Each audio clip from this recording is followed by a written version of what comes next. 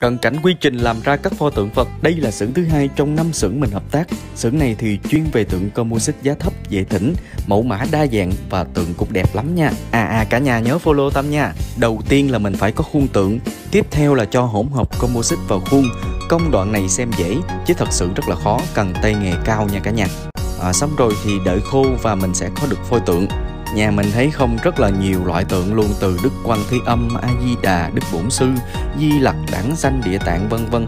Sau đó là đến việc phải xử lý các lỗi của phôi nè, xử lý các chỗ lồi, lõm. Công đoạn này thì khói bụi rất là nhiều nên thấy thương cô chú anh chị thiệt á. Xong rồi sẽ có bộ phận khác sơn tượng, rồi vẽ diện vẽ mặt cho quý ngài. Khâu này thì quyết định chất lượng tượng cũng khá nhiều nên cần sự tỉ mỉ và tay nghề cao nha. Đó, cả nhà thấy không để sản xuất ra một pho tượng thì cần rất là nhiều công đoạn luôn. Một lần nữa xin được cảm ơn cả nhà đã ủng hộ Tâm trong thời gian qua. Và tiếp tục anh chị, cô chú nào có nhu cầu, thịnh tượng hoặc là tư vấn về tam bảo, thờ Phật Thì có thể liên hệ với Tâm nha. Cảm ơn cả nhà rất nhiều.